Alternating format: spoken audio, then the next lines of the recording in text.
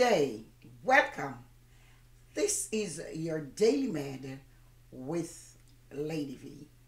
Today we want to look at the amazing announcement that uh, Angel Gabriel made when he appeared to the Virgin named Mary. As we know from St. Luke 1, verse 26 uh, um, through 38, uh, that the angel made this announcement, and we know that she was engaged to a man named Joseph. She was going to have a child while she was still a virgin. The child would be named Jesus and would be Israel's long awaited Messiah. And we'll see that in St. Luke chapter 1, verse 26 through verse 33. The angel explained the miraculous nature of this conception.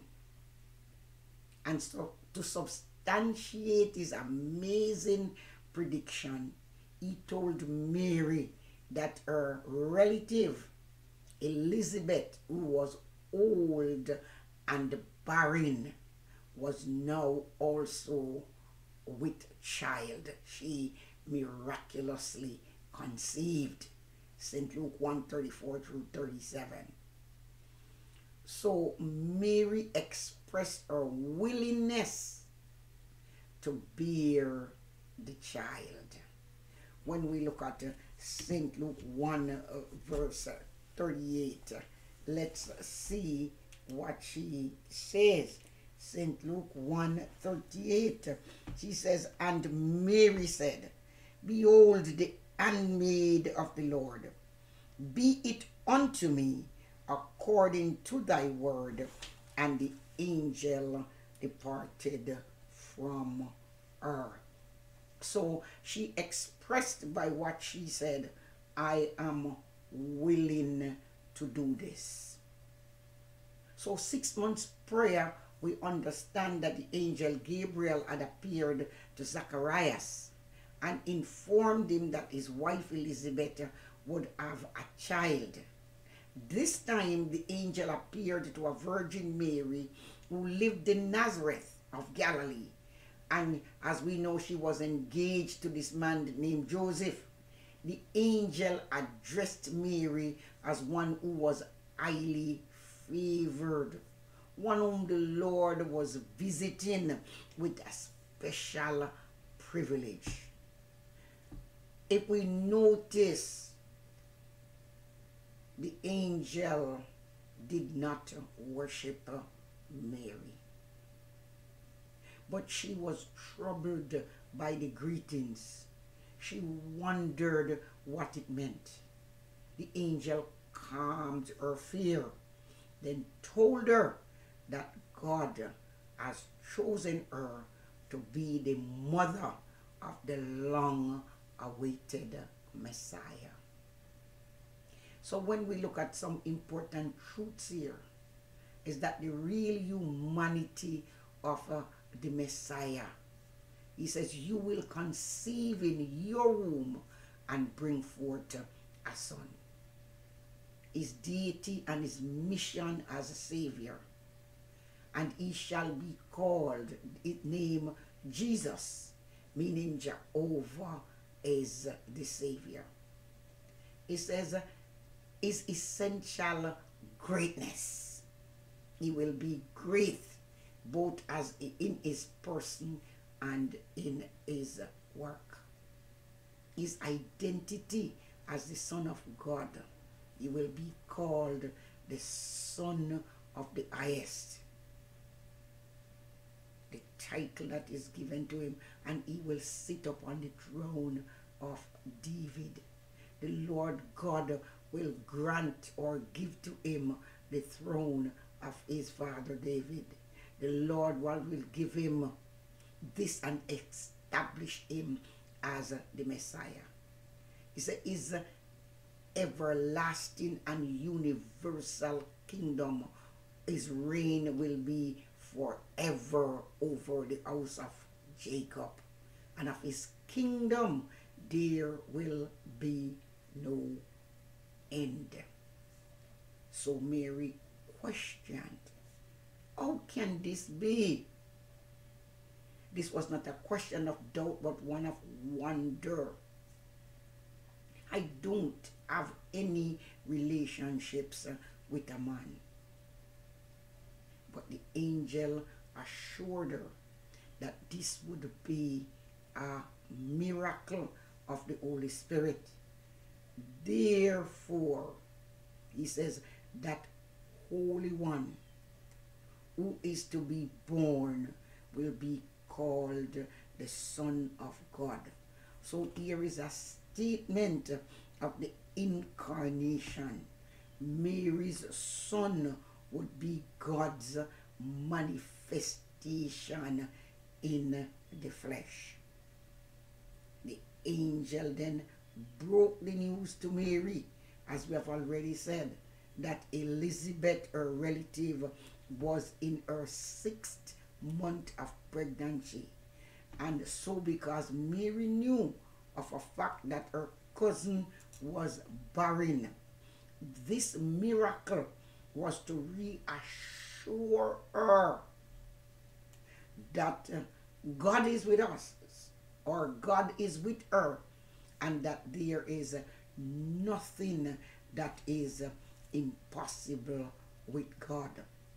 She knew Elizabeth's situation, and she can now say if Elizabeth, my cousin, is with child, then certainly what the angel is here now saying to me, it is from God and it is true. Luke 1 26 through 38, as we read the entire announcement. It says, um, Luke chapter 1, uh, starting at verse 26, he says, And in the sixth month, the angel Gabriel was sent from God unto a city of Galilee named Nazareth, to a virgin espoused to a man whose name was Joseph, of the house of David, and the virgin's name was Mary. And the angel came in unto her and said, Hail, thou art highly favored. The Lord is with thee. Blessed art thou among women. And when she saw him, she was troubled at his saying, and cast in her mind what manner of salutation this should be. And the angel said unto her, Fear not, Mary, for thou hast found favor with God. And behold, thou shalt conceive in thy womb and bring forth a son, and shall call his name Jesus.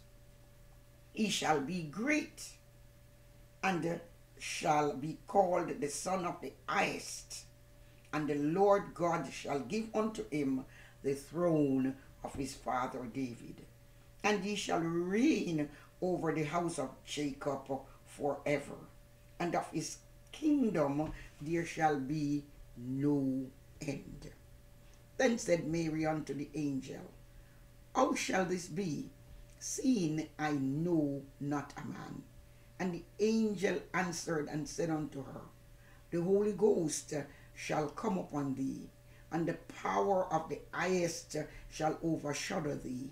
Therefore also that holy thing that shall be bo- that shall be born of thee shall be called the Son of God.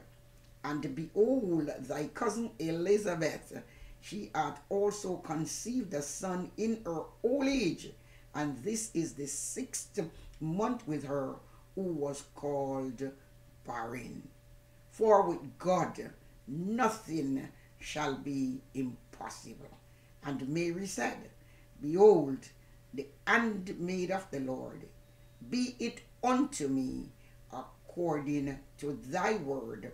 And the angel departed from her. So we saw in this lesson Mary's willing surrender. She willingly surrendered to that which God wanted for her life. And therefore, she was favored or privileged to bring forth the Messiah, God's only Son, the Savior of the world.